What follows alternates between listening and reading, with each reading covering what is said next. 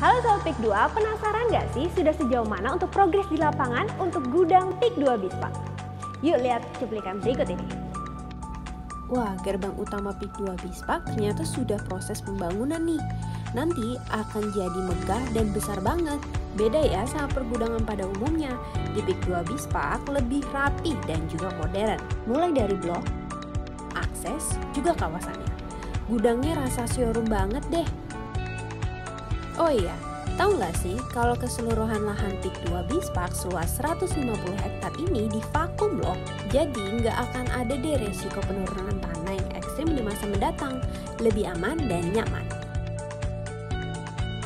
Segera miliki gudang impian Anda hanya di PIK 2 Bispak.